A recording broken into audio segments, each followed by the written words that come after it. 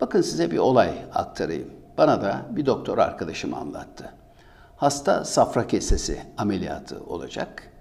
Alınıyor ameliyata. Laparoskopik yöntemle yani kapalı olarak gerçekleştiriliyor ve başarıyla geçiyor.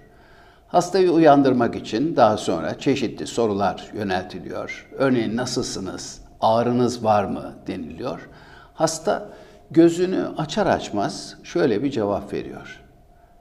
Ekrem İmamoğlu mazbatasını aldı mı?